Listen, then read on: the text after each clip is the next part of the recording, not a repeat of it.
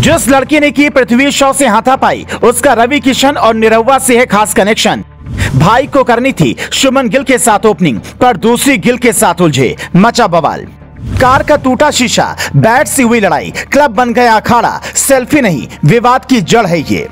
वो लड़की जिसके इंस्टाग्राम पर लाखों फॉलोअर्स हैं डांस वीडियो देखकर फैंस मंत्रमुग्ध हो जाते हैं। वो पृथ्वी शो के साथ सेल्फी के लिए भिड़ेगी। ये सुनकर थोड़ा बात पच नहीं रही है। इसीलिए हमने जब रिसर्च किया तो कुछ ऐसी बातें पता चली, जिससे सुनकर आप भी दंग रह जाएँगे। ये वीडियो देखिए, कैसे पृथ्वी शो उस लड़की के हाथ से बेसबॉल बैट छीन रहे हैं। इस लड़की का नाम है सपना गिल। इसीलिए लोग इस वीडियो पर ये भी लिख रहे हैं कि भाई को सुमन गिल के साथ ओपनिंग करनी थी, लेकिन वो ना हुआ दूसरी ही गिल के साथ उलझ गए। पर यह मज़ाक की बात है। असल बात यह है कि इस हाथापाई का सेल्फी के अलावा कुछ और भी कनेक्शन है। ये लड़की दरअसल सोशल मीडिया इन्फ्लुएंसर है। और इससे पहले इसने भोजपुरी फ़िल्म काशी अमरनाथ में रवि किशन के साथ काम किया है।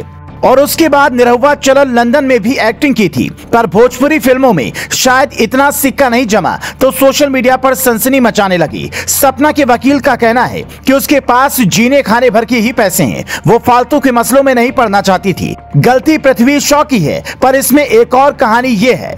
होटल में खाना खाते वक्त पृथ्वी ने एक सेल्फी दे दी थी। जब बात और सेल्फी की हुई तो उन्होंने मना किया। अंदर पृथ्वी के दोस्तों से सपना गिल और उसके दोस्तों की बहस हुई। उसके बाद अंदर से मैनेजर ने सपना गिल को भगा दिया। पर ये लोग घर नहीं गए, बल्कि हॉकी और बेसबॉल बैट लेकर पृथ्वी शॉ का इंतज़ार करने लगे। जैसे ही वो बाहर निकले, कार के शीशे तोड़े, बवाल किया और फिर पचास हज़ार रूपए भी मांगे, जिससे दो सवाल खड़े होते हैं। पहला ये कि क्या लड़की और उसके दोस्त पृथ्वी को बदनाम करने का डर दिखाकर उगाही करना चाहते थे? और दूसरा, क्या लड़की ने जानबूझकर लड़ाई इसलिए की ताकि वो फ़ेमस हो सके?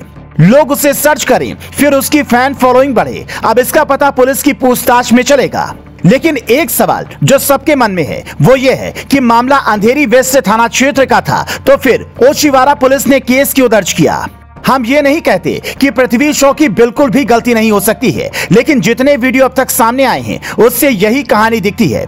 कुछ लोग कहते हैं, पृथ्वी शॉ इन दिनों परेशान चल रहे हैं। 18 महीने पहले उन्हें टीम इंडिया की जर्सी पहनने का मौका मिला था। फिर वनडे में उन्हें टीम में चुना तो गया, पर मैच खेलने का मौका नहीं मिला। तो उदास हो गए। उससे पहले गर्लफ्रेंड से ब्रेकअप की वजह से परेशान थे, पर वैलेंटाइन डे के मौके पर अभिनेत्री निधि तापड़िया को अपनी वाइफ बताया, लेकिन थोड़ी ही देर बाद पोस्ट डिलीट कर लिखा। ये हमने पोस्ट नहीं किया था। पर अगर किसी और ने पोस्ट किया था तो फिर पृथ्वी ने उसके खिलाफ कोई एक्शन क्यों नहीं लिया? ऐसे तो कोई भी कुछ भी लिख देगा। आप टीम इंडिया के स्टार खिलाड़ियों में से एक हैं। आपको अपने अकाउंट से लेकर खुद के इमेज की चिंता करनी चाहिए। पृथ्वी शॉ की तरह ही कहानी ईशान किशन के साथ भी पटना में हुई थी। वहाँ तो ईशान को 20 सड़क पर लोगों ने पीट दिया।